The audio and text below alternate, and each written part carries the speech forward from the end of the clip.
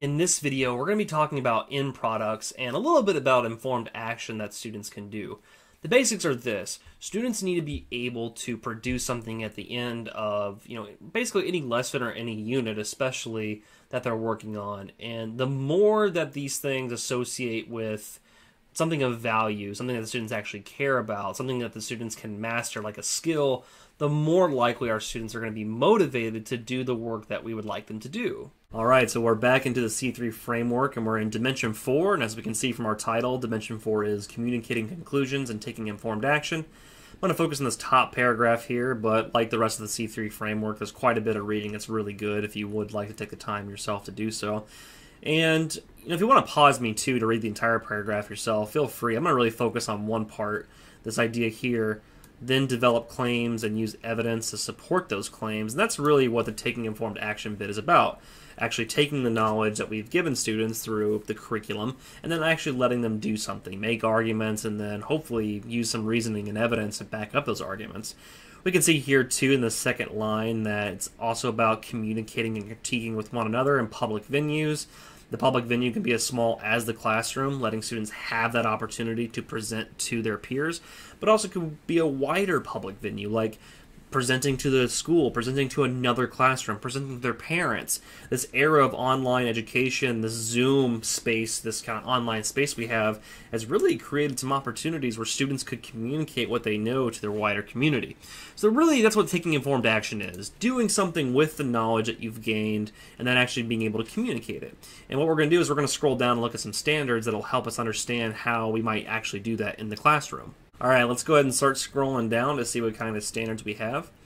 Like the other dimensions, the dimension 4 is broken up into different, you know, components or categories, I should say. So this first one, communicating, critiquing conclusions, very much focusing on that idea of communicating and then also looking at something that somebody provides and then critiquing it. So if we remember from last time too, we have four different columns. Each one's represented by the end of a certain grade. So these first two are elementary, then we have middle school here, and then we have high school. So for secondary folks, we're really in this realm right here, but it's a really good reminder that if you have a district that wants to vertically align from elementary to high school for social studies, then this is a great document that's already given you a good head start. So we see here we have some ideas of how we could potentially communicate and critique. I'm to go ahead and scroll down, though. We're to see this, these other standards, critiquing conclusions. I want to scroll down to taking informed action, because that's really what we're talking about today, this idea of what does it actually mean to have students create something and do something with the knowledge that we give them.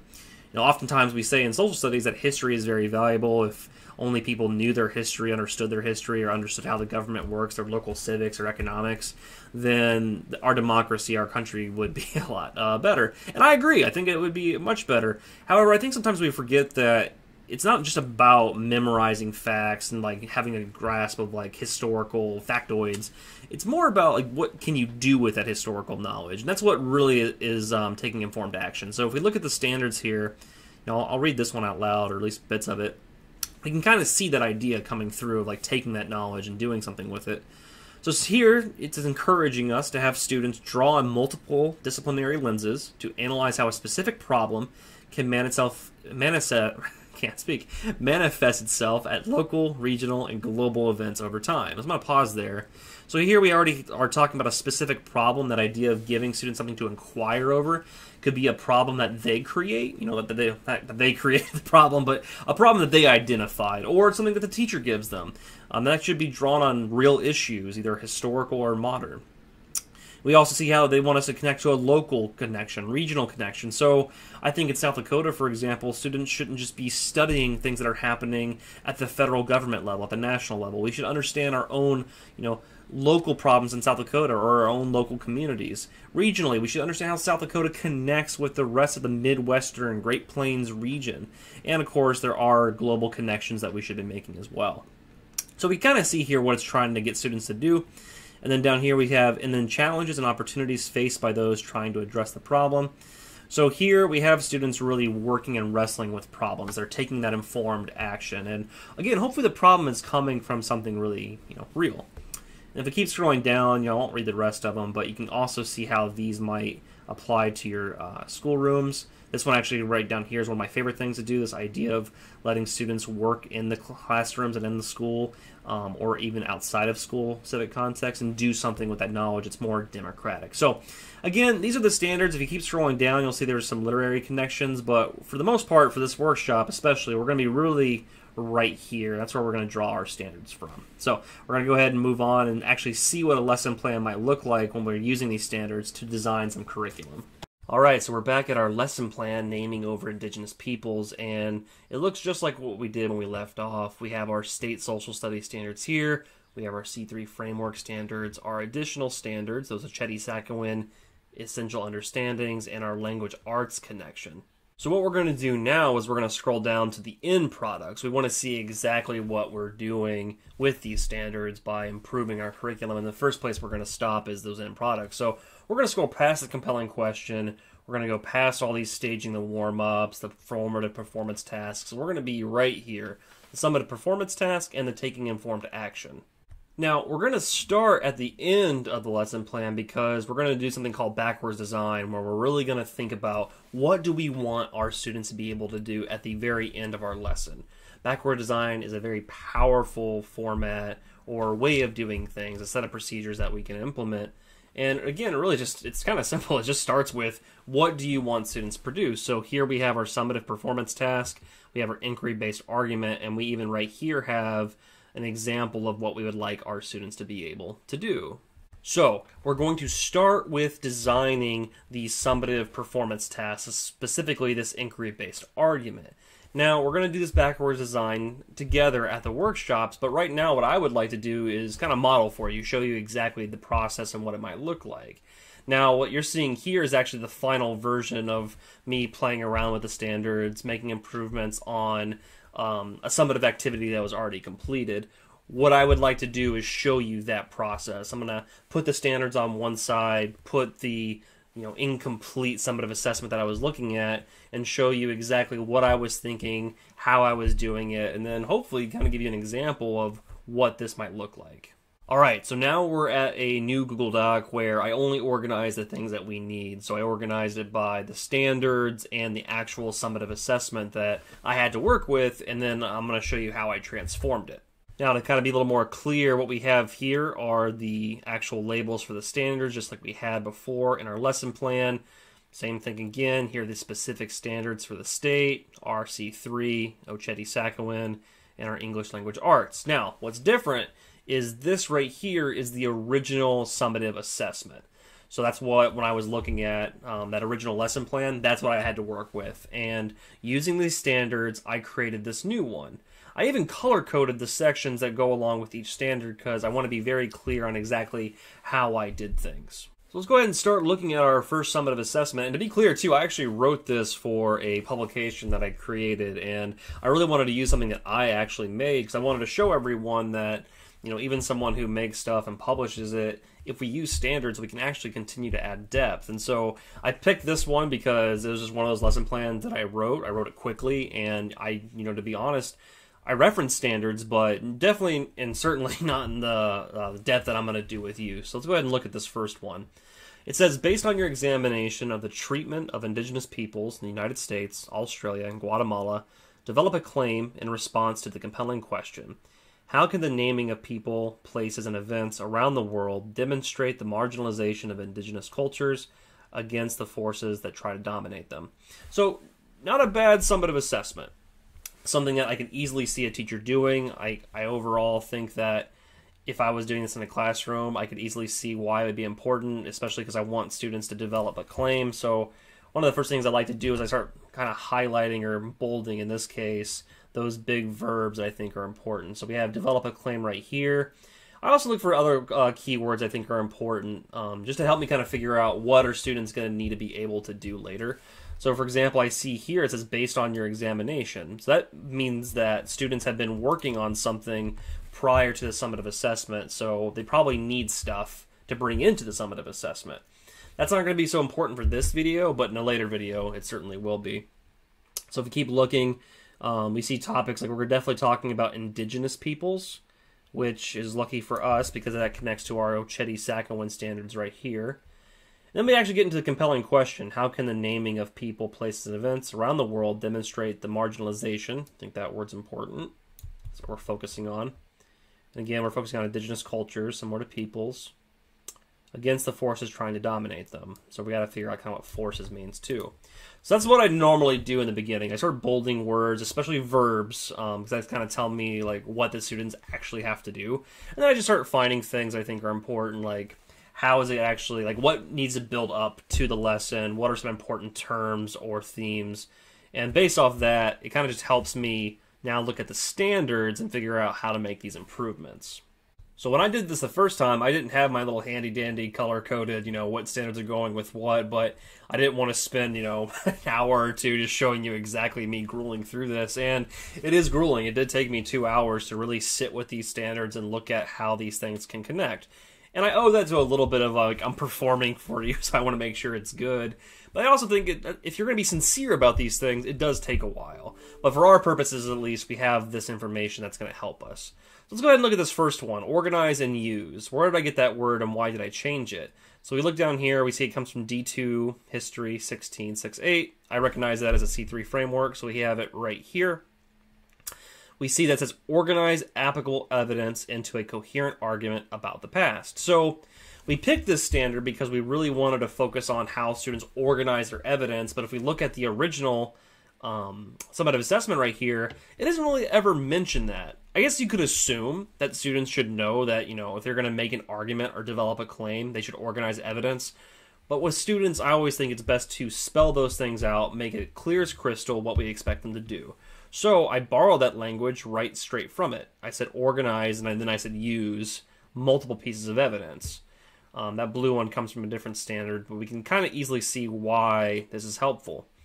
Now, here, I'm going to segue real quick. I'm going to talk about it more in a video later, but we need to have clear verbs and students need to have a clear understanding of what they're doing because we're going to talk about you know that idea of assessment. Like students need to know what they're being assessed over. Part of what they're being assessed over is their content knowledge. Like how well can they answer this question doing all the things that we asked them to do you know days prior? But if we're going to value an inquiry based idea if we're going to really want our students to answer questions be thoughtful be able to use the information that we're giving them, then we need to actually kind of, not even kind of, we need to put these skills into the actual lessons. That's why we actually really should clear up these verbs. So right here we have organize. We're going to go ahead and go on to the next one. All right, so our next one here is multiple pieces of evidence. If we use our tool, we can see it comes from D2 History 4 6-8. So again, we can see that it comes from the C3 framework. Um, there's really no particular reason why I did the C3 framework one first. I could easily see using the state standard or Oceti-Sakowin. To me, it's more free form. I like to put these things right next to each other, and after I bold some words, I kind of just start doing the same thing. I look at the word of uh, the verbs like analyze, organize, describe, explain, and I try to figure out which ones are the easiest. Honestly, like, I believe in taking the you know the course of the river take the easy route at first and then kind of go add depth later when you need to and can. So we have multiple pieces of evidence. We have that right here. And I thought that was also good to clear up um, because we have here multiple factors. Now, I think multiple factors will naturally happen in a lesson plan if we give students multiple types of evidence. So that's where I, got, I included that right down there. Now, after uh, presenting about these first two, I realized I even cleared up the from your previous lessons part that I just mentioned. So I even included that with this standard right here, just to, in a way, even remind me and students that the previous lessons that we've been doing should be connecting to the summative assessment. Now, some people might ask, well, what that does that actually mean or look like? Personally, I would really like the idea of students bringing in notes into a test. I've done things like that in the past where students had to analyze primary sources, you know, throughout a week or even sometimes weeks, and they had this set of documents with their notes, and they could take that into a test and answer some questions.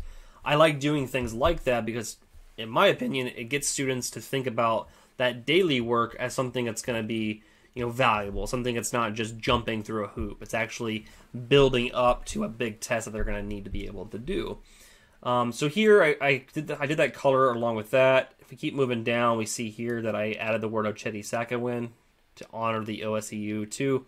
Now, I think that's a pretty broad way of doing it. This Oceti Sakowin Essential Understanding number two talks about the resiliency, um, the variety of different individuals, and that's a good point. We need to remember that indigenous peoples aren't monoliths. Now, that's something that we could take across our entire lesson plan, but for this purpose of our summative, I just wrote Oceti Sakowin here, and I also wrote the word resiliency. So I wanted to show that it wasn't just about marginalization. Remember, I bolded that word up here. I really wanted to show how indigenous peoples, including the Oceti Sakowin, have certainly been marginalized, but they've also resisted. They've also have ensured that their culture has survived and we need to talk about that as much as we talk about the marginalizations you know, of those indigenous cultures. All right, so that takes care of our first three standards. We have our two C3 standards down here and our Oceti Sakowin Essential Understanding. And again, there is no particular reason why I did these three first. It just happened to be that way. If we keep moving down, we see that I added South Dakota after the Civil War, and I connected that down here to the yellow, so we can see describe the changing federal policy towards Native Americans after the Civil War. Not sure why there's a one there. And, you know, if this is a history course, then we do need to make those connections. This lesson plan was originally designed to be a global education lesson plan. That's why there's connections to Australia and Guatemala and the indigenous peoples that are there. Now, I still think this is a lesson plan that could easily work in an American history classroom. However, if you wanted to change those things, like if you wanted to focus more on indigenous peoples elsewhere in the United States, you're more than welcome to. I also think this lesson plan would be a really good one for a world history class where you're actually looking at the entire world and making connections to, you know, if you're in South Dakota, the local indigenous people, including the Oceti Sakowin. Howdy, I'm back. So I did a quick uh, fix that original English language arts standard was not the one I actually wanted to do. I wanted to focus on one that was talking about writing arguments. And I got this ELA connection from the same place I got the last one. It comes from the English language arts standards that are in the state of South Dakota, which one of my honestly out, out of all the disciplines, one of my favorite ones for standards is English because they did a really good job of actually making connections across disciplines, uh, much better than I've seen any other set of standards do that. So if you're a social studies person and you want to work with your English language arts teacher, or if you're ELA and you didn't know about it, you actually have these really great connections to different disciplines, including writing arguments. So that's why I changed it. You know, developing a claim. I think, I think students would probably get it, but I think just saying write a coherent argument makes a lot more sense to them. Um, so I pulled that straight from these standards, and then I even referenced here uh, D2 History 16 right down there. It talks about organizing applicable evidence into a coherent argument about the past. So that word coherent is also going to come up really well um, in our later videos. And, you know, looking at this now broadly, we've gone through all of them. So looking at it now in totality, I think most people would easily argue, like, yeah, this one makes a lot more sense. It, it has a lot better verbiage. There are a lot more areas that make sense to grade or assess. So, for example, if you were assessing this, you could tell students, hey, you need to organize evidence, and you might even have a rubric that shows them different ways of doing that. You might teach them lessons before that help them do that. However, and I would be in this camp too, honestly, especially when I was a first year teacher, you might see this as kind of being nitpicky and like, you know, is, is this a really valuable use of my teacher time? Um, I even told you that it took me a couple hours, and I think even if I wasn't making a video, and trying to make it, you know, color coded and easy to understand, I think it would still take me anywhere to 60 to 90 minutes to do like what I did and be as thoughtful as I was. And we know as teachers, we don't always have that time. In fact, we rarely do unless it's the summertime, but we're not paid to do that. So I'm not really a big fan of telling teachers, hey, you should spend your own personal time doing lesson planning. You should always be paid because you are a professional. Now, if you do have time, I would suggest doing this at least once or twice a year where you look at a unit plan for like a week or a lesson, whatever you're able to do, and really set a path where you can do this a couple times a year at the least during school hours. Um, if you wanted to do it more, you could probably talk to your school board, talk to your principal, see if there's some money for professional development where you could do this. But I think it's valuable because it sets us up now to plan backwards from this really solid summative assessment we have all these verbs and words now that when we look back at our actual unit plan, when we're designing like the activities, the performance tasks, the supporting questions, all that stuff, we can look at this and be like, what do students need in order to be able to do this and do it well? Being able to answer that question and looking at a unit plan is going to be so valuable. And once you get the hang of it, I think you'll realize too that you, become more efficient and quick with it.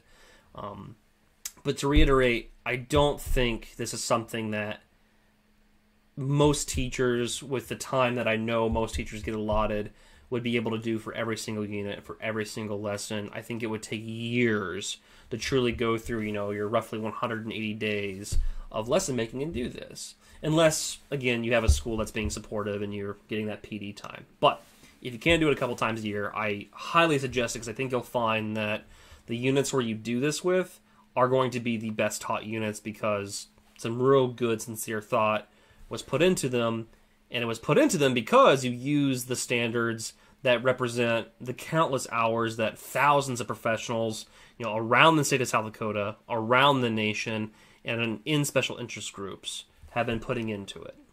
All right, so that was our time together talking about end products, and as I feared, I only had time to do one where I really dug into and explained how I went through, you know, going through all those standards and actually applying them to the summative assessment. Now, you might have seen things that you would have liked to change, and that's awesome. I, I would love it if you brought those things up at the workshop or even emailed me about those um, differences that you found. And at the workshop, I really do hope that you bring materials that are in product. So bring summative assessments, bring projects, bring things that you really want students to be able to do and master. And we can practice. We'll workshop together. We can sit together along with a couple uh, other South Dakota teachers who are going to help out. And we'll really look at what it means to take these things, these standards, and make our end products better which in the end will help our students have a much better experience in our classroom. All right, so that is all for me today. Next time, we're going to be talking about compelling questions and how to build those and supporting questions too. So, same kind of practice. We'll be using the standards in order to build those up and just kind of make those connections that are really important. So, very excited to see you next time. Please email me if you need anything, and I look forward to seeing many of you at the workshops that are coming up in April. Take care.